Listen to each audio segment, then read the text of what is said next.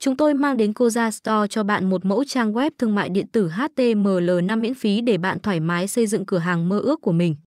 Nó đi kèm với bố cục thiết kế tối giản và sự xuất sắc trong từng phần của toàn bộ mẫu.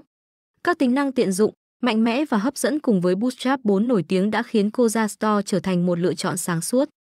Tương tự như vậy, thanh trượt hoạt hình mượt mà ở phần đầu chỉ đơn giản là thu hút người dùng tìm kiếm thêm.